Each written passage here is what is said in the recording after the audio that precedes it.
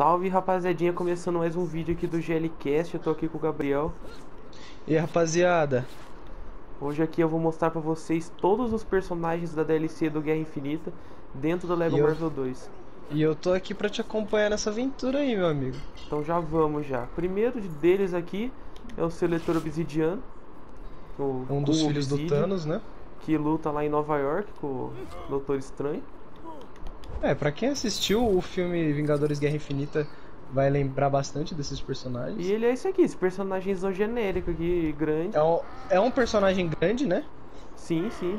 Que se a gente for trazer um vídeo sobre todos os personagens grandes do game, ele vai aparecer. Ele é bem da hora, o visual dele, bem bonitão. Vamos o martelo dele, né? Olha quem que é o próximo. Eu acho que. Ah, vai, vamos direto pra ele. O melhor O próximo- personagem desse jogo. Eu acho que a gente não pode. A gente não precisa nem falar, né? Pra quem não jogou ainda eh, Lego Marvel 2, mano, ele é simplesmente o melhor personagem pra destruição do jogo. Não, ele voa, primeiro de tudo. Coisa que pouco personagem grande faz, acho que só ele faz isso. Ele tem esse raio aqui da Joia do Poder que é muito forte. Ele teleporta pra você se esquivar dos personagens que tá te batendo. Dá um jump com poder Os concentrado. personagens que- que atira de longe, né? Mano, esse personagem é o melhor. E cara, o de soco dele, o soco dele quebra literalmente tudo. Soco Quando você normal tá numa fase com vezes dois, você pega ele, já era. E ainda quando você, quando você tá com o extra ativado de tudo que você toca é demolido, nossa senhora, velho. Não, melhor tem pra personagem, ninguém. sem sombra de dúvida. É o melhor personagem de Lego Marvel 2, óbvio, né? Como ele é de DLC, tem muita gente que não tem, mas é o melhor personagem.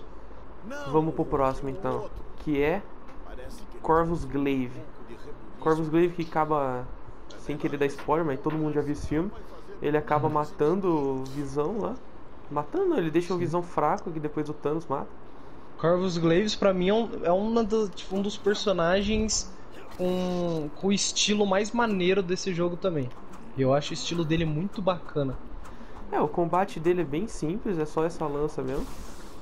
Não sei se ele voa, não voa. A coisa mais bonita dele são os efeitos e, e, a skin, o personagem em si, né? Ah, o combate dele também eu acho bem maneiro. A gente consegue próximo. ver que ele tem uma capa, né? Uma touca, uma A capa lança dele é meio legal. rasgada aqui, umas marcas de combate. Uma lança dupla, né? O próximo é o False de Ébano. Que luta com o Doutor Esse- Estranho também. Esse é um dos personagens, um dos vilões mais fortes também da saga Vingadores, facilmente. O Lula Molusco. Ele não ele o acaba de, para quem não assistiu, na verdade, pra quem assistiu, pra quem não assistiu, desculpa pelo spoiler. Ele acaba derrotando o próprio, óbvio, né? Tem todo aquele negócio do Doutor Estranho tá protegendo a joia, mas ele acaba derrotando o Doutor Estranho num combate mano a mano, né? Sim, eu. A morte dele também, vamos combinar que foi bem ridícula, né? Ele É, ele só congelado foi, ele só foi derrotado, ele foi derrotado de qualquer jeito, a gente tem que admitir isso.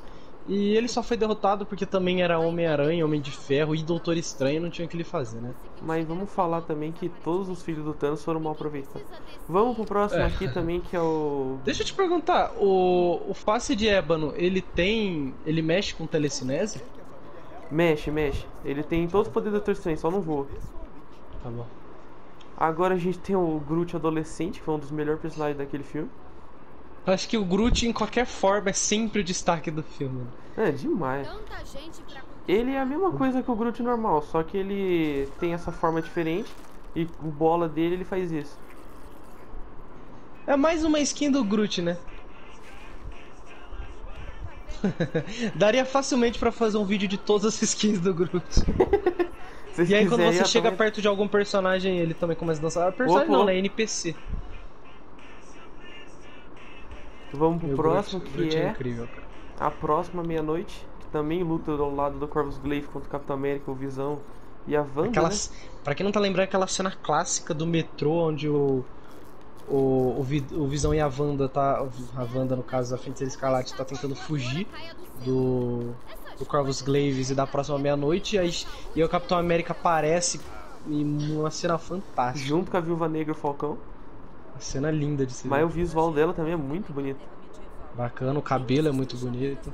A lança, então. A lança. Mostra os efeitos dela batendo aí. É, os efeitos são lindos, igual do o Corvus Glaives. O jeito que ela bate é único, né?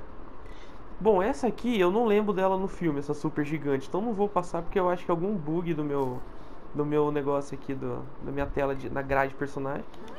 E vamos passar para Hulkbuster do, do Bruce Banner que ele usa na em Wakanda. Eu vou te falar aqui, enquanto eu e o Luca, é que a gente, a gente já zerou esse jogo, mostra aí o, a quantidade de troféu, bloco de ouro que você tem aí, Luca. É, Nossa, tá tudo ali embaixo. Ó, a gente fez quase todos os blocos de ouro, todos os. É Pink Bricks que chama isso aí? É, os Pink Bricks. Os, os blocos da. da. Da Gwenpool. Da Gwenpool.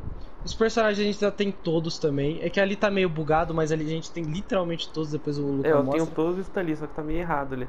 O Stanley também tem todos, mas não tá mostrando. O Obstinado tem todos. Então, tipo, a gente já tá com 90, a gente tá com 93%. Então, quando a gente jogou, eu falava pro Lucas sempre que eu achei essa Hulkbuster, essa caça Hulk muito feia. Eu achei uma skin muito feia. Nossa, o que que aconteceu? Um especial. Dava para ser uma coisa mais bonita, mas, né? É, podia ter sido mais elaborado como um personagem grande, não uma espécie. É isso que eu não Eu acho a Hulkbuster do Lego Marvel 1 muito mais bonita e muito mais lembrada. Né? É, mas ela é uma mas é legal. Gigante, é basicamente É legal, é um, dos maior, é um dos maiores personagens em questão de tamanho do jogo, né? Opa, esse aqui já é pra um outro vídeo. Opa, esse aí tira, esse aí tira. Vou pegar aqui o motoqueiro fantasma e vamos terminar o vídeo aí. Obrigado a todo mundo que assistiu até aqui. Futuramente vai ter mais séries de Lego aqui, não só o do Lego Marvel 2, mas também Harry Potter e Ninjago. E The Hobbit, né, que já, já, já tem uns episódios aí, a gente vai continuar. Vamos continuar com tudo aí, e é isso. Pedir e é isso, rapaziada. Então, basicamente, esse foi o, o, todos os personagens da DLC do Guerra Infinita. Esse filme maravilhoso que para muitos é o melhor filme de heróis da, da história do cinema. Então, eu acho que é isso. No, a gente vai trazer mais vídeo mostrando todos os personagens de alguma DLC específica. Trazendo ou, to, ou todos, por exemplo, todos todos a Capitão América que tem muito, todos Homem de Ferro. E, e, é isso, rapaziada. espero que vocês tenham gostado. Eu vou deixar pro Luca, pro Luca encerrar o vídeo. Tamo junto, valeu. É, então é isso. Vou trazer também futuramente as missões da DLC. E é isso. Um abraço e tchau.